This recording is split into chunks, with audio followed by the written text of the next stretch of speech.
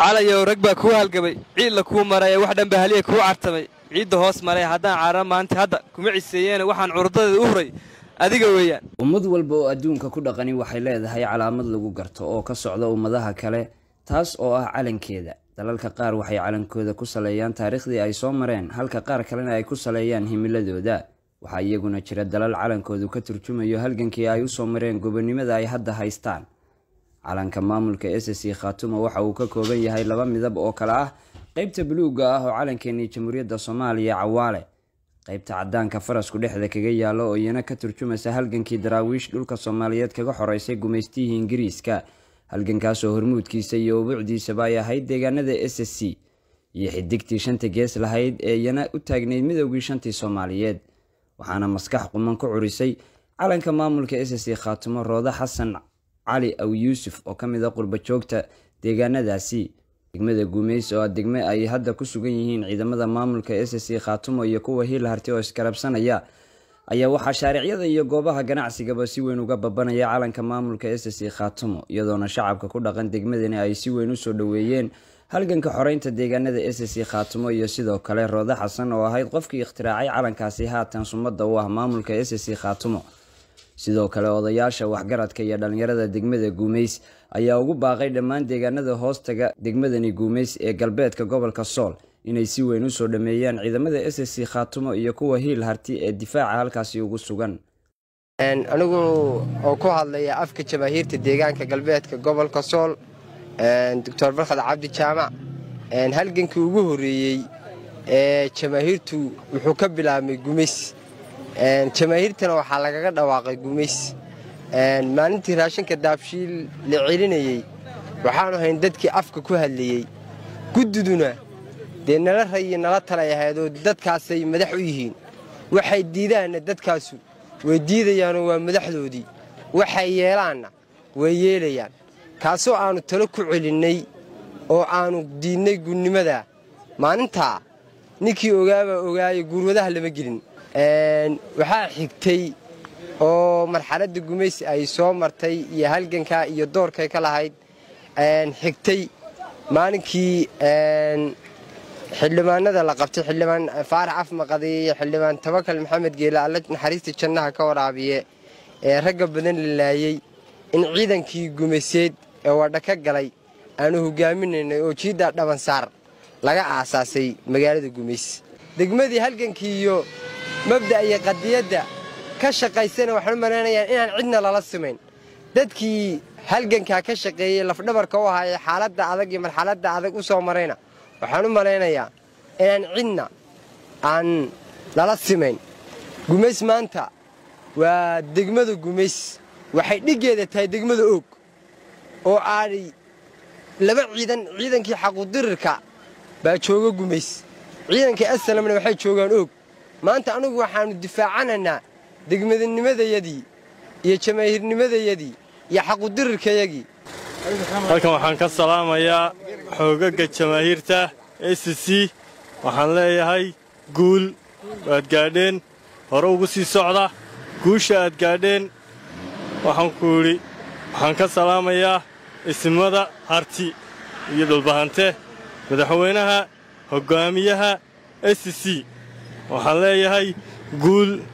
Maanta waxaanu taagannahay meeshii xuduuddeennii oo aan dhammaystirayn haddana halkii garaadadu inoo astaamiyeen baynu joognaa. Waxaanu leennahay ciddii haddii nala farageliyo horaa looga sii soconaya.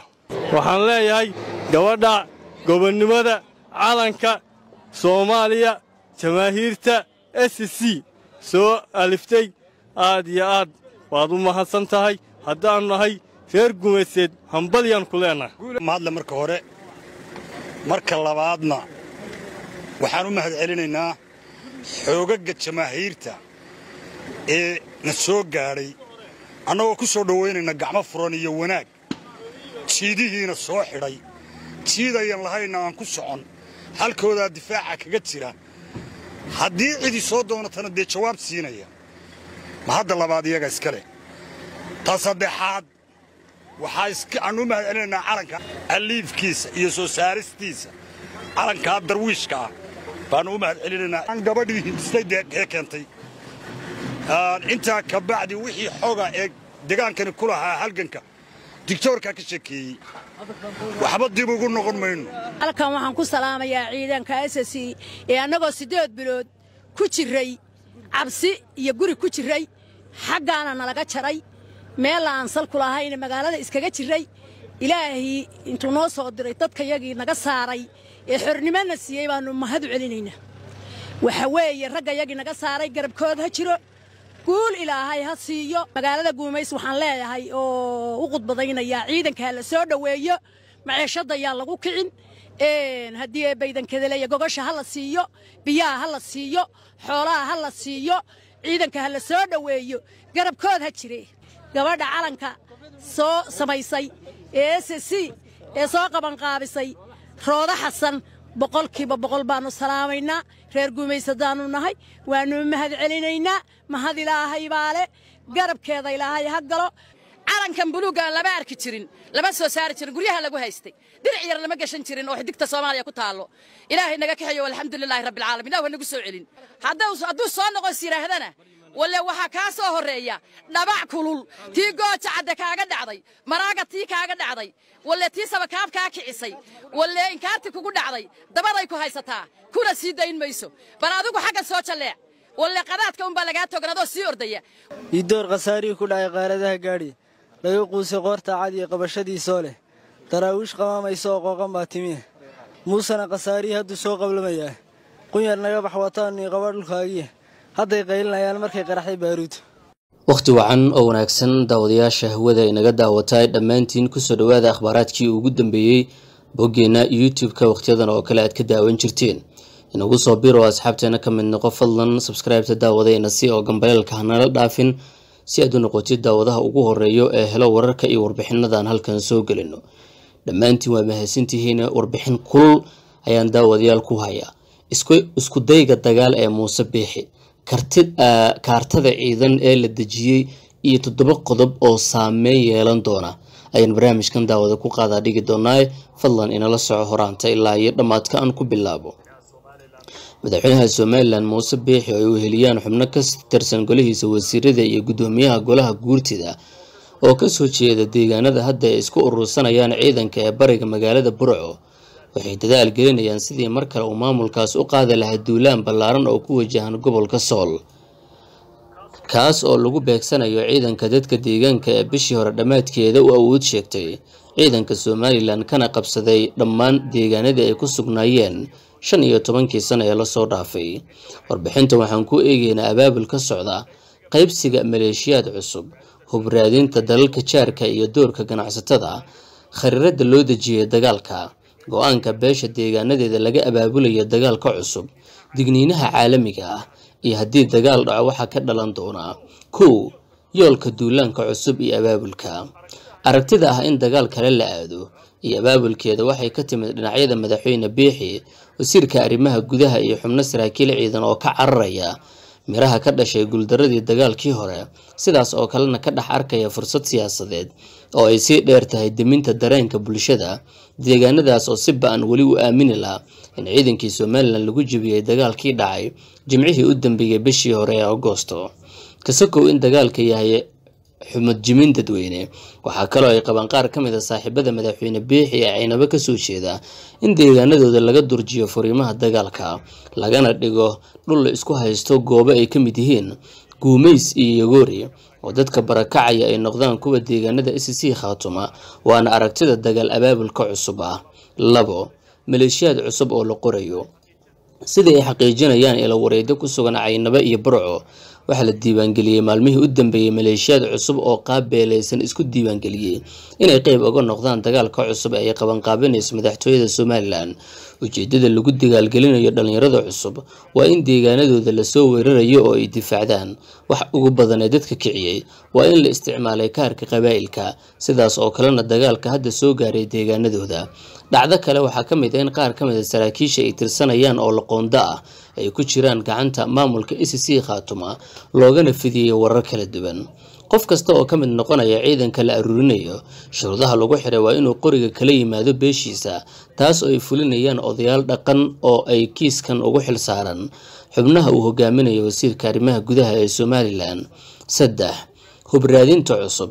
Somalilan oo baadi goobaysa saad iyo doorka ganacsatada. Shan iyo labaatankii agoosto somalilan dagaalkii ka dhacay gobolka sool kuma aysan lumin oo keliya dhul iyo qabsashada saraakiil ciidan oo lagala wareegay. Balse hubkii ugu badnaa gaar ahaana kan culus ee aan soomaaliya hadda la keeni karin ayaa ku dhacay gacanta dadka deegaanka. Tani waxay ku qasabtay hargeysa inay raadiso dhabbe ay ku heli karto saanad militari oo cusub. Siday xaqiijiyeen wararka laga helaya caasimadaha dalalka jaarka la ah soomaaliya iyo suuqyada hubka ee yemen ayaa sheegaya in duulaalada hubka raadinta ee ka socda dhanka somalilan ay baadigoobayaan saad cusub oo ay ku jiraan qoryaha boobayaasha culus ah maadaama aan la heli karin baabuurta gaashaaman ee culus. Maalin ka hor golaha ammaanka ee jimciyadda qurumaha ka dhexaysa ayaa sheegay inay dabagal ku hayaan shakhsiyaadkaas oo la cunaqabatayn doono maadaama ay ku xadgudbayaan cunaqabataynta hubka ee saaran soomaaliya. Madaxtooyada somalilan oo la jahwareersan lacagta adag ee dagaalkii hore ka jillaabtay kana cusubna ka raba ayaa ganacsada ka qaadatay dhaqaalo cusub. Waxaan helnay macluumaad xaqiijinaya in ganacsato qaarkood ay bixiyeen lacago ay ka dalbatay madaxtooyada soomaaliya. Waa madaxtooyada somalilan taas oo loo adeegsan doono dagaalka waana halis kale oo ganacsiga saameyn ba'an ku yeelan doontaa in somalilan ay hesho suuq cusub oo taageero hubeed ah ma sahlana ayay qabaan dad badan oo arrintan eegaya. Sababaha ugu weyn waa in hadda ciddii taageerta oo gobolka ay la mid noqonayso cid dagaalkan qeyb ka ah tallaabo kale oo isla arrintan adkeynaysa waa in saadka ay dhowaan qabteen dadka deegaanka s c laga helay qaar ka mid a faraha dowladaha dariska oo horey somalilan uga iibiyey saanad ciidan taas oo loo gudbiyey golaha ammaanka iyo dowladda federaalk soomaaliya ayna wejigabax kala kulmayaan dalalkan sumcaddooda maadaama ay hubgeliyeen gudaha soomaaliya. Afar kaartada ciidan ee somalilan doonayso inay dagaalkan u adeegsato. Somalilan midda ay xaqiiqsan tahay waa inaysan si fudud ku qabsan karin magaalada laascaanood si buuxdana ugu jebin karin dagaal maalin iyo saddex qaata ciidanka s c khaatuma oo ka awood badan siday ahaayeen toddobadii bilood ee la soo dhaafay. Laakiin yoolka ugu weyn hadda dagaalka waa in laga kiciyo ugu yaraan duleedka oog dib loogu ceshto gumays loona diido inay sameeyaan dhaqdhaqaaq cusub sidaas oo kalena la adeegsado dad kasta oo niyad siinaya ciidanka somalilan. Saraakiisha sare ee somalilan ayaa qorsheynaya iskudayga weerarka cusub in lagu wajaho saddex dhinac laba ka mid a awoodda la saarayo iyo kan saddexaad oo ah mashquulin ciidan. Labada aag ee ugu ballaaran ee hargeysa xoogga saarayso waa dhulka furan ee loo yaqaan dhoodiga iyo howd ka guumays. Kan saddexaadna waa laamiga dheer oo ciidan yoolkiisu yahay difaac xirid ay joogaan iyo ilaalinta taliska ooga kaartada cusub ee somalilan dejisay waxay u muuqataa laba doc wareen inay ku jiraan oo yool ku yahay inay isugu tagaan colalkan haddii ay guulaystaan yogoori iyo guumays dhexdooda lana joojiyo gurmadka ciidanka s c khaatumo ooga imaan kara laascaanood iyada oo taasi ay uga baahan tahay ciidanka somalilan dadaal xoog badan iyo guul deg deg ah oo ay ka gaaraan labada weerar ee ay geesaha ka qorsheynayaan. Khubarada ciidanku waxay sheegayaan inay adag tahay in saddexdaas jihaba hal mar ay somalilan dagaal ka wada bilowdo kuna guulaysato weliba. Laakiin saacadihii la soo dhaafay dhaqaaqyadii ay somalilan ka samaysay deegaanada ku beegan labada dhinac ee howdka iyo dhoodiga gaar ahaana deegaano dhowr ah ayaa muujinaya iskudayga ah hirgelinta istaraatiijiyadda ay alifeen taliska ciidanka somalilan. Shan beesha bariga burco oo shirkooda la eegayo iyo laba kala doorasho oo hortaalla inkasta oo maalmo ka hor siyaasiyiinta maxamuud xaashi iyo xirsi cali xaaji oo ka soo jeeda bariga burco oo hadleen ay diideen aragtida aan dagaal kale lagu qaaday sool iyo beelaha dega haddana waxaa la eegayaa shirka maalmaha soo socda ee qeyb ka mid ah odayaasha beesha ku yeelanayaan magaalada burco iyada oo la filayo inay ka jawaabaan baaq horey uga soo baxay ismada dhaqanka ee s c khaatumo oo ahaa in dagaal dambe oo ka yimaada oog iyo caynabo uu noqonayo mid ka yimid beesha deegaanadaas beelaha s c iyo bariga burco waa dadka isugu dhow ee wadaaga xuduudda ugu dheer daaqa deegaanka iyo dhalashadaba. Hadba labada dhinac siday u go'aansadaan inay uga siriigtaan iskuday dagaal oo dambe? Ayaa noqon doonaa furaha nabadda deegaanadaas. Haddii shirka burco ay ka soo baxday la joojiyo duminta colaada ku wajahan sool waa faa-iido wanaagsan oo labada dhinacba ay gaareen. Laakiin haddii la aado dhabaha dagaalka waa halis weyn oo labada dhinacba saameyn dambe ku yeelan doonta. Lix digniinaha caalamka ee ka imaanaya kuna wajahan dagaal dambe. Beesha caalamka gaar ahaana golaha ammaanka ee jimciyadda qurumaha ka dhexaysa ayaa ka digaya iskudayga dagaal dambe oo ka dhaca gobolka sool. Waxay kala hadleen labada dhanba in la joojiyo dhaqaaqada ciidan iyo hadallada xanafta leh ee kicinta dagaalka. Haddii la aadana dagaal waxay sheegeen inay ka dhalan doonaan xasuuq bulsho iyo burbur hantiyadeed oo ka ballaaran kii hore waxayna sheegeen mas'uuliyadda in lagula xisaabtami doono dadka ka dambeeya. Laakiin way adag tahay in labada dhinacba hadda u hoggaansamaan war qoraal ah oo ka yimid new york iyo maraykanka iyada oo la eegi doono habdhaqaaqa cusub toddobo labada dhinac muxuu uga dhigan yahay dagaal dambe oo dhaca. Somalilan waxay maraysaa imtixaankii ugu adkaa oo ah inay hesho guul militari oo aan qarsoodi ahayn oo ay ku dejiso quluubta shacabkeeda kuna soo istaagto fagaarayaasha siyaasadda. Dhanka kale madaxweyne biixi wuxuu doonayaa inuu soo ceshado qodobkiisii ahaa waxaan ahay korneel ciidan oo garanaya difaaca dhulka taas oo shan iyo labaatankii agoosta ka burburiyeen ciidanka s c khaatumo saddexdaas ujeedaba madaxtooyada hargeysa iyo saraakiisha caynabo saldhigtayba waxay u bixinayaan wax kasta oo ay ugu wadaan oo ah dhalinyaro saddex qaybood oo la soo ururiyey maalmihii u dambeeyey lana gelinayay dagaalkan dhanka s c khaatumo waxay uga dhignaanayaa dagaal uga yimaada somalilan inay guulaheeda sii adkeysanayaan midnimadooda. Sidaas oo kale haddii ciidankooda uu helo guul militari waxaa suuragal ah ay leeyihiin dadka darsaya inay ka tallaabaan deegaanadooda oo ay galaan deegaano aysan horey u joogin taasoo colaadda ka dhigahaysa mid si fudud aan ku istaagi karin. Ugu dambeyn somalilan iyo s c khaatumo tan la hubo waa inay ahaanayaan deris wada nool iyo ehel taas oo aysan iyagu go'aankeeda gaari karin. Balse hogaamiyaasha beelaha iyo kuwa siyaasadda waxay go'aankeeda leeyihiin kala doorashada ah in nabad iyo deris wanaag ay ku wada noolaadaan ama colaad dhimasho burbur iyo barakac sababta taas oo taariikhda aysan cidna u dumin doonin. Hadba meesha ay isaga hurto. Waa hagaag warbixin aad iyo aad daawad xasaasi oo aan ku eegeynay isku dayga dagaal ee muuse biixi kaartada ciidan ee la dejiyey iyo toddobada qodob ee saameynta yeelanayo. Intaas aan daawada barnaamijka ku soo afmeero